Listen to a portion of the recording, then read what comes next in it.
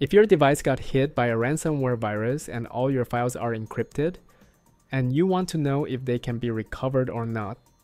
But first, don't forget to support me with a like and subscribe to the channel. Step 1. Go to Google and type ID ransomware. Then, open this website. Upload the ransom node that the virus gave you, you know this one. Then upload any encrypted file you have. If the virus can be decrypted, you'll see this message. But if it can be decrypted, you'll see this message instead.